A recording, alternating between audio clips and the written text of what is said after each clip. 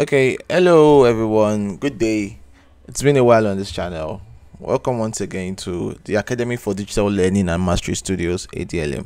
I'm sure by now many of us will be wondering what other things can the software Planswift be used for. Aside quantity takeoff, you should know that the software Planswift can also be used for detailed material breakdown for every item of work that has been measured within the software there. That is why with the ADLM Planswift plugin, it comes with a material schedule package which helps you to prepare the materials for measured work and export to Excel. Now this is how we would go about it. Let's get into the video. On this um takeoff summary section here, we have our coin takeoff that has been done for substructure, first floor, roof, ground floor, paint floor, and finishes and opening okay? So i'll just be picking for some structural work so we'll see how we prepare the material schedule. It's going to be a very short one.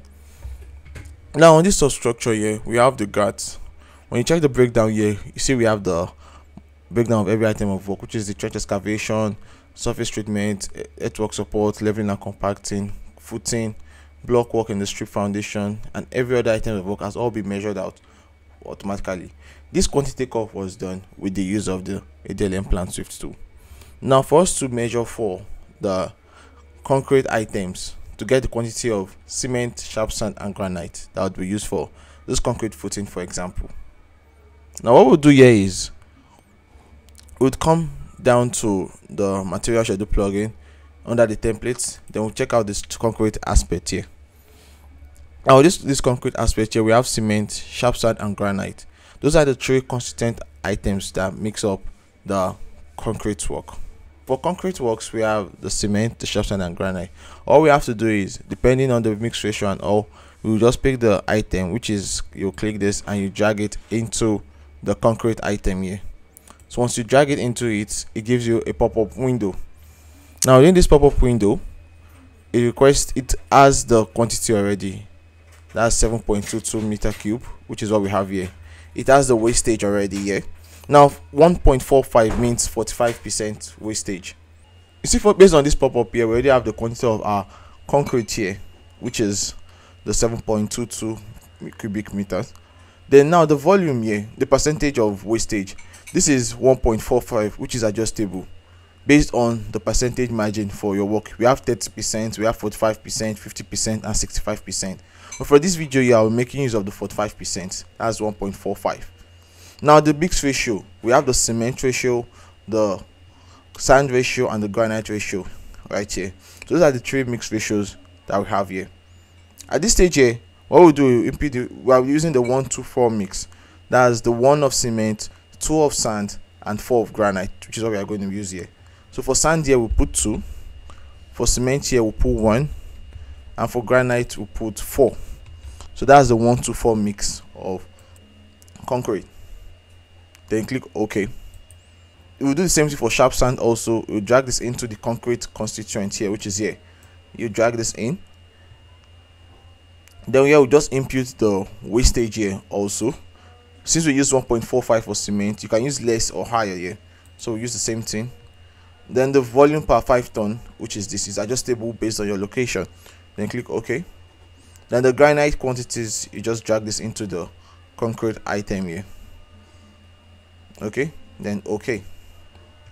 What we have here now we now have the quantities of our cement as 42.24 bags of cement 4.33 tons of sharp sand and this of granite 8.66 of granite. That is the quantity of cement sharp sand and granite we have for our concrete footing here. Now let's talk about the block work that's a block masonry item here. You check the plugin the template we have here we have the masonry for this masonry item here this is this here we check out this drop down here. Now we have the 225 block the 150 block the cement and the sharp sand. It can also be bricks also. Either blocks or bricks have the same measurement. So the dimension of our blocks is 225 mm thick by 450 millimeters wide. That is the dimension of the block here. Now what we have here just the simple method of drag and drop would also do here so we drag this block work into this for block here. Then you see that's giving us the square area which is what we have here. And the blocks per meter square. Then okay. For cement also you drag this in for cement. The cement is for the mortar remember? Now the shrinkage value then the bricks ratio 1 6 so you can always adjust this and you can always adjust your mortar thickness this is 12 mm thick mortar. So this is 12 millimeters this is millimeter so that will be 12 it can also be 25 millimeter that's the inch. So just 25 millimeters thick of mortar. You have the cement ratio and the sharp sand ratio. Okay. Now we have the quantities of our cement and sharp sand over here. Okay. Now let's move to the next item. So that is how you would apply for all of your concrete constituents in your building. Remember trench excavation is a labor only item. Surface treatment is a labor item then earthwork support is a formwork item also for, for earthwork support. You can just click on this formwork here. The either you're using marine board or you're using the normal white wood but for here we have marine board here. So we can just click this. Okay. So for the measurement for earthwork support which is a component of formwork because we are making use of wood bracing and nail. Now the flat wood which is the marine board here you can just click this and drag it into the earthwork support section here. Then once you do that gives you the quantity and shows you the area of board. If you are using uh the other kind of board which is the normal plank that's the one by 12 you can just get the square area of that and just impute here. This has gotten the quantities from this earthwork support here and okay. For bracing also you would also drag this into this year. Now for bracing this time around you drag it into the boards so marine board here you drag the bracing and the nail into it. So the brace goes into this. The length of the wood is now the standard length of wood we are using is 3.3 then the bracing per board will be using let's say 2.5 depend this is flexible depending on your design of your formwork or design of your earthwork support. That is why this is flexible. Because design varies design of your formwork varies depending on the specification or the type given by the engineer on site. Okay? I click ok.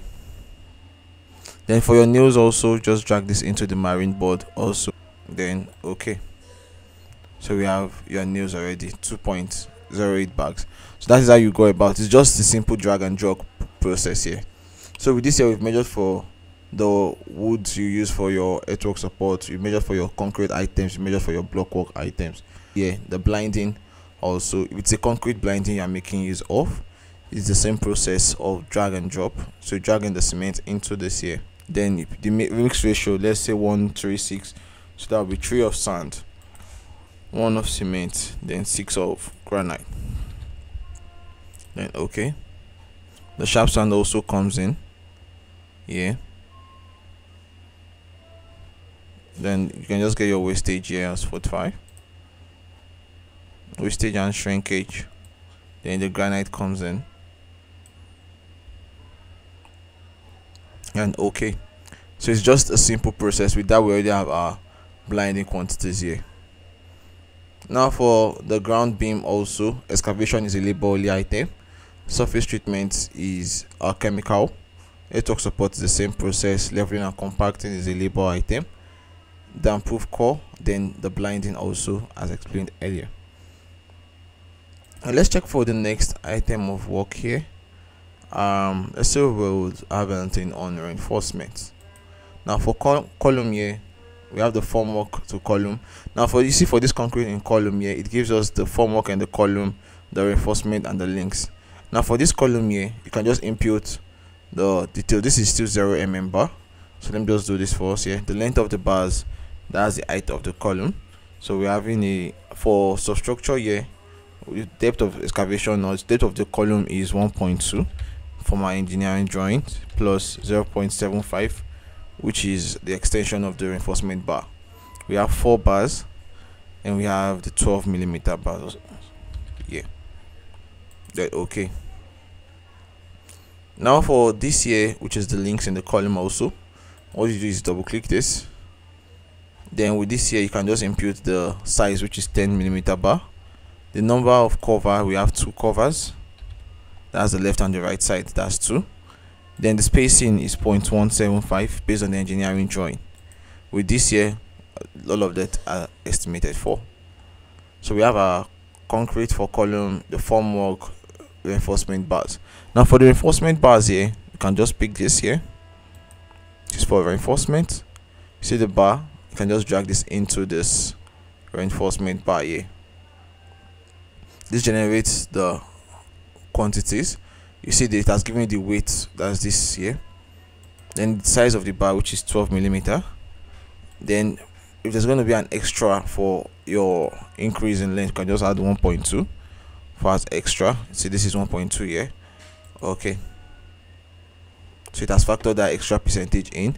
And the binding wire also comes in here now to drag the binding wire in the weight of the binding wire this binding wire varies based on the size. So if you are using a 20 kg just type 20 kg. If you're using a 10 kg if you're using a 30 kg. So you have those options here. But yeah i'm using the 20 kg binding wire which will also influence the cost i'm making use of. I you understand. Then okay. So with this here we have our reinforcement bar and the binding wire quantity for this year.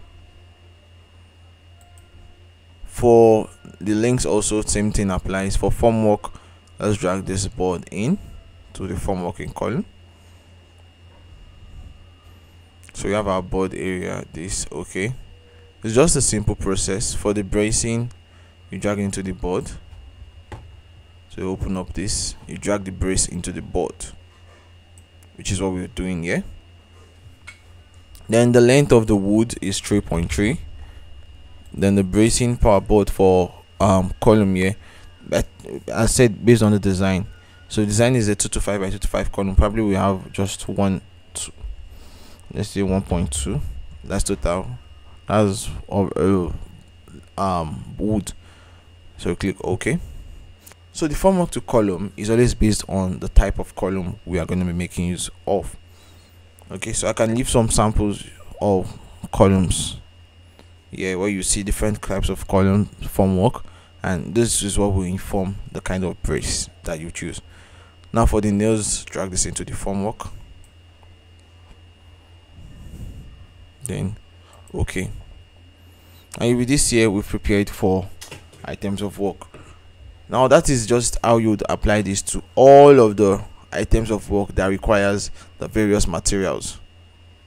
You can do that while you're doing your quantity takeoff or you can do it after you're doing you're done with your quantity takeoff. Now once you're done we'll now go back to report section here. Now in this report here we have the adlm report. Then we have the materials. So let's click on these materials. You see it gives you the total quantity of sharp sand reinforcement bars nails marine board granite and all of that.